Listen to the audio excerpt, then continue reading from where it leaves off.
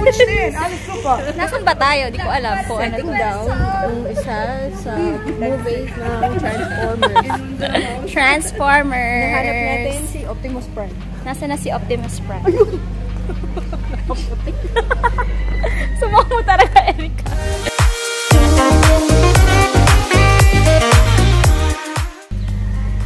Lalabas na po si Sadako.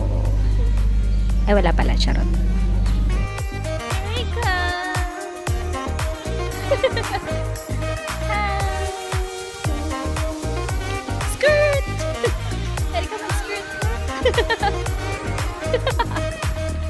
Friend!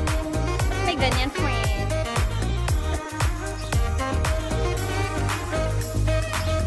Si Erika talaga ang star naman. Tapos na.